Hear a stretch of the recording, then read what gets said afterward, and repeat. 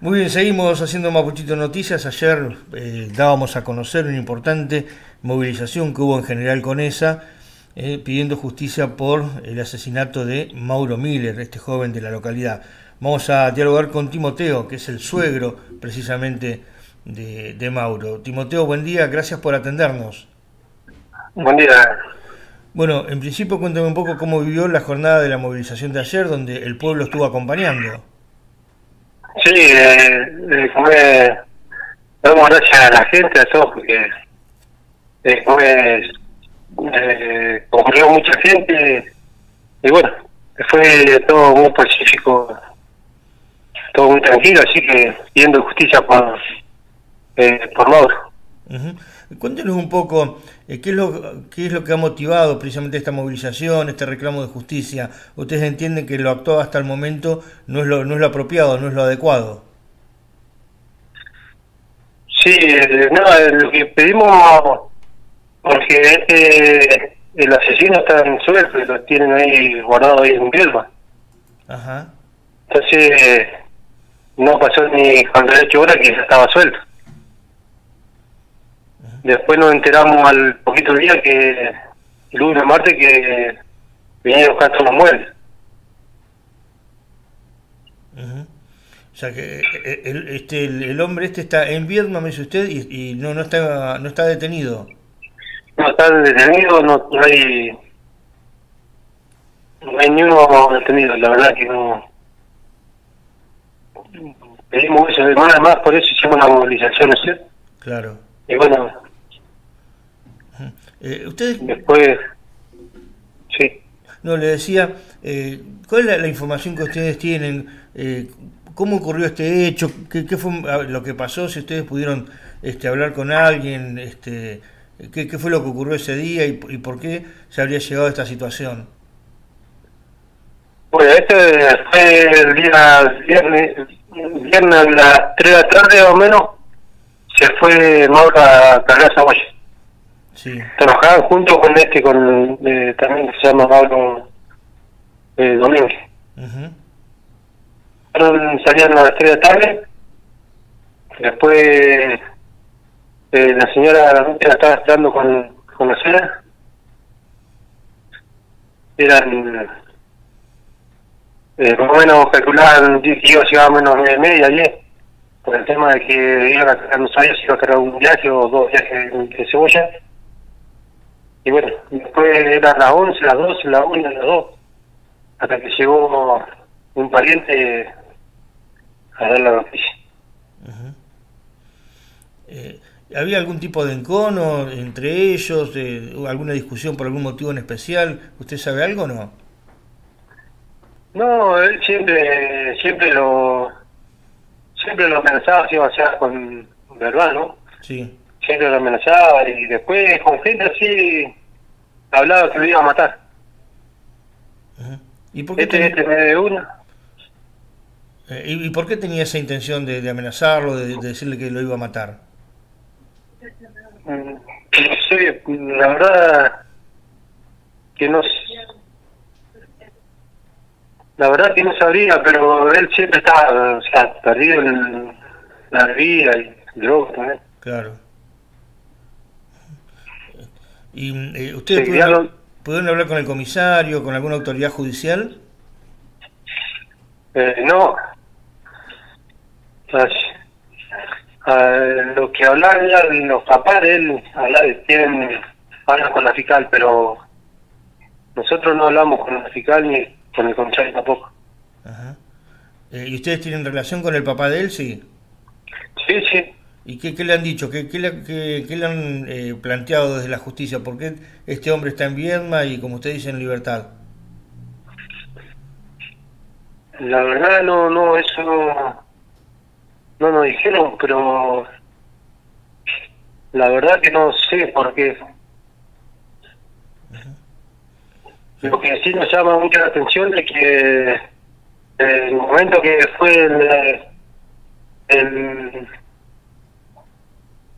se lo, lo apuñaló, que tuvo siete horas o menos de toda la familia reunida dentro de la casa. Ajá.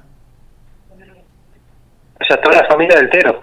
De Tero le decían a ese, al, a Mauro Domingo. Claro. Y bueno, armaron toda la estrategia, la yo, no sé. Me parece que la, la fiscal, el policía, todo, eh, actuaron mal en ese, en ese ¿Y usted tiene información a qué hora la, policía este, se, se anotició de esta situación y eh, pasó mucho tiempo hasta que le informaron a ustedes? Eh, porque en realidad usted me decía que se eh, enteraron por otra persona que fue a su casa, pero na, nadie fue de la policía a informarles. No, no, no. Lo tomamos más o menos dos, dos de la mañana, o menos. Que vino una, una sobrina que vive ahí cerquita de la casa. O sea, como menos unos 40, 50 metros. Claro. eh, y la policía nunca Pero, le dio ningún tipo de, de, de información. No, no, la verdad que no, no se acercaron acá. Uh -huh. eh, tampoco hablaron con eh, los padres de Mauro. Con él sí hablamos, pero tampoco no queríamos tocar mucho el tema así de, porque están están muy mal también seguro. Eh, más allá de la movilización de ayer, eh, ¿usted considera que este, van a llevar adelante algún otro tipo de acción judicial? Este, ¿Tienen previsto llevar, hacer otra alguna otra movilización? ¿Cuál es el camino que piensan seguir? Bueno, si esta semana más o menos no, no hay noticia de que esta persona esté detenida, eh, íbamos a hacer otra marcha más. ¿Usted ¿Acá que... o que baje la fiscal acá con ella o ir a Vierma a hacer una movilización allá. Uh -huh. eh, le decía, eh, concretamente, eh, hasta el momento, ¿ustedes entienden que el hombre está en libertad en Vierma? Eh, ¿no, ¿No tiene prisión sí. preventiva, nada de eso?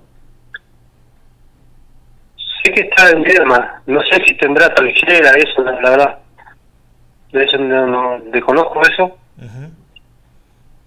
Lo que sí no Pero está detenido, sí no, no, está detenido. No está detenido, ni uno, ni uno de la familia. ¿no? Bueno, no sé si usted quiere agregar algo más, Timoteo. Sí, no sé, eh, a ver, ahí va a hablar la, la piba. Bueno. Sí. Ahí habla la piba. Bueno, bueno, cómo no. Gracias, gracias. No, gracias a usted.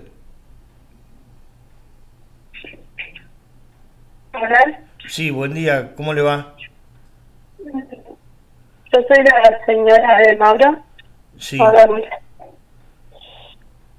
Nosotros lo que queremos es que, que esté preso Mauro, de Mauro Domingo y que esté preso. Uh -huh. Es muy difícil, voy a hablar, habla para que justicia. Está bien. Mi nena, mi nena la espera a su papá.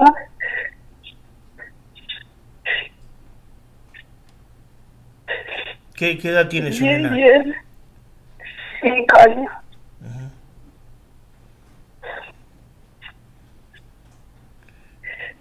Lo maligno que el, el asesino allá en, en Yoma con toda su familia y uno tiene que estar acá. Es un dolor inmenso.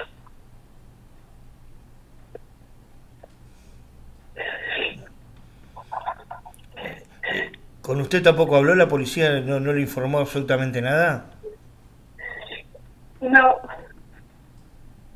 Yo cuando fui el, el domingo a la noche fui a la comisaría y ya me dijeron que el preso con esa no estaba. Y yo le pregunté, ¿está presa en Vierna? Sé que acá no está, no, lo único que me dijeron me atendió una policía. Eso es lo único que me dijeron. Eh, y usted, eh, como decía Timoteo, usted entiende que en Vietma no está detenido en ningún lugar. No, él está en una casa. Uh -huh. Los marinos que vinieron a buscar los muebles, todos se llevaron todo de acá. La familia, la familia se fue de con esa. Sí, nos llevaron todo para allá. A Mauro Domínguez con toda su familia. Yo lo que quiero es que él, él esté preso hasta que, hasta que salga el juicio.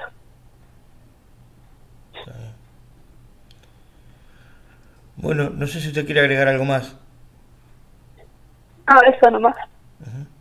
Bueno, Que la justicia por, más por mi hija lo está esperando. Eso le dije que cosa que te lo había llevado para curarlo y que va a volver. Y ahí está ella esperándolo.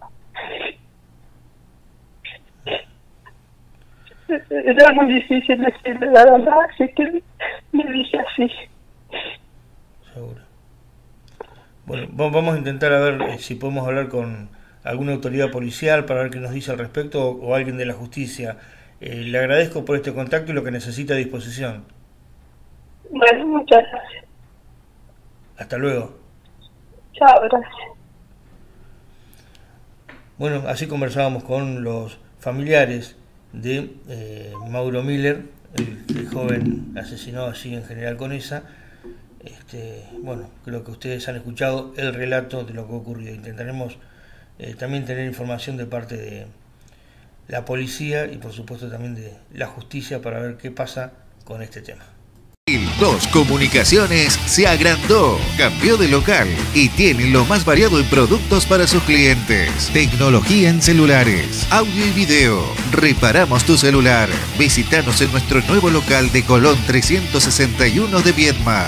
Lo que no está en el 2 Comunicaciones no existe. El 2 Comunicaciones, Colón 361 Viedma. Metalúrgica Saocor. Somos fabricantes de cortinas metálicas, de aluminio y acero inyectado, automatización de portones, cortinas estándar, blindadas, microperforadas, acero inoxidable, galvanizadas, ventas de motores y repuestos, con un servicio postventa y todo asesoramiento personalizado. Comunicate al 2920 15 30 80 27 o encontranos en Facebook como Saocor o en nuestro local Antártida Argentina 3396 San Antonio Oeste, Río Negro, porque lo más importante es lo que hay detrás de la cortina.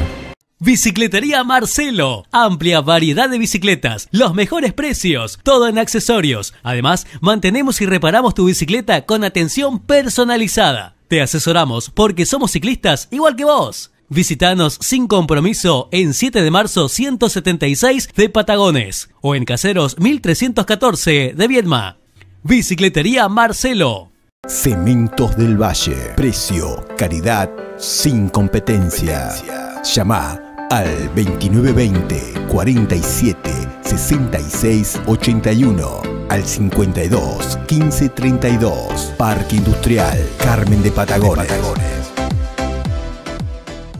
La Luisita, fábrica de pastas artesanales. Tenemos las pastas tradicionales, pero también innovamos con nuevas pastas y sabores. La Luisita, a la vanguardia, desde la comarca para la región. 25 de mayo 455, Viedma. Mini Mercado Raíces. Carnicería, verdulería, almacén, kiosco. Abierto todos los días. Colón y Lorenzo Martínez, Patagones.